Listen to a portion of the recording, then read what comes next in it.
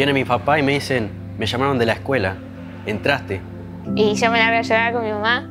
Estallaron en llanto todo y yo me quedé congelado. La mejor noticia que te esperarías que entraste a la Escuela Técnica Roberto Roca. Todo era como enorme y nuevo y Me acuerdo que sentí una presión, me estaba muriendo. Me acuerdo que lo que más me significó fue el gimnasio que era tipo de las películas de High School Musical, que a mí me encanta esa película.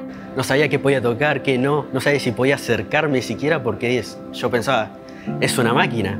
Descubrí que a veces la ambición y la arrogancia no son todo. En la escuela me descubrí a, a mí mismo, a desenvolverme, como soy. Creo que formamos un, un grupo muy lindo y que eso me ayudó un montón para crecer a nivel personal. el proyecto que más me gustó fue hacer la mano robótica. Fue bastante dificultoso y tuvimos muy poco tiempo para desarrollarlo. En la muestra te daba orgullo mostrarlo porque estaba muy, muy bien armado, no sé, me hice feliz. Fue el que hicimos en séptimo año, que era una maceta inteligente llamada Mi Planti. Es el último proyecto que hicimos, que es la incubadora. Toda la pala habíamos armado nosotros, entonces la satisfacción de haberla terminado y verla y decir eso, lo hice yo, fue, fue como... Como que se cierra la idea. Lo que más voy a extrañar de la escuela creo que son eh, a mis compañeros. Todos están para vos y vos también medio que estás para todos en lo que se necesita.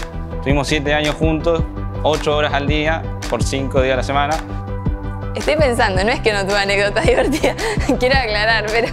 El viaje a Bariloche, eh, momentos inolvidables, y junto a los profesores de educación física que fueron para matarse de la risa. Todo eso me lo llevo y, lo, y me lo dejo guardado hasta el final de los tiempos. Bueno, en el futuro me gustaría ser físico.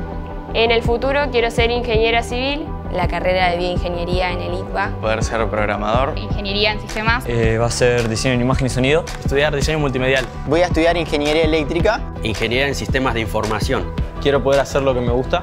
En el futuro me gustaría ser veterinario y tener un refugio de, de perros y de gatos.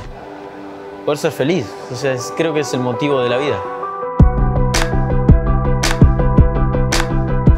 A mi yo de 13 años le diría que no afloje. Lo que le diría a mi yo de 13 años es que invierta en Bitcoin. Que se divierta y que sea igual de contento como siempre. Y bueno, y que no se haga vegetariano tan joven. No, no está, no está bueno. Después lo va a dejar por culpa de una cuarentena. Que se atreva a enfrentarse a nuevos desafíos, que, que lo que va a venir es, es mucho mejor.